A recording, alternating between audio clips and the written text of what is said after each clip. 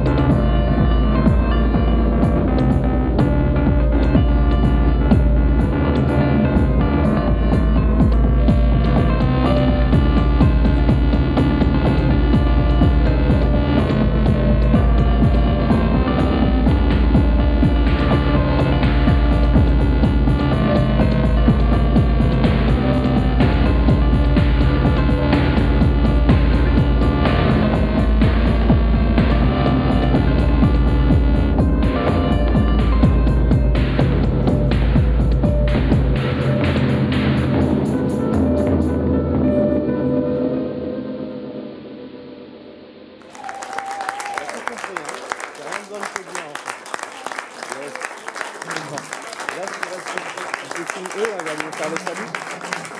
Une